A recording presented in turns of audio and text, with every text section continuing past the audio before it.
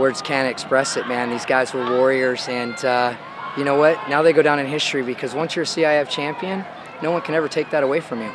You know, you get the ring, and you have that the rest of your life.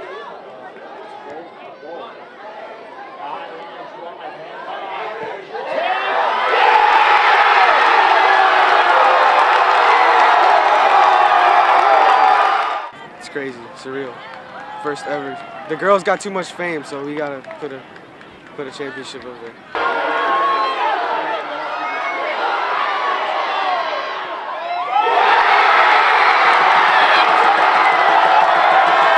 Um, it's been a great season. I love these group of guys, and we've been, I think, the best soccer team, um, boys soccer team there's ever been.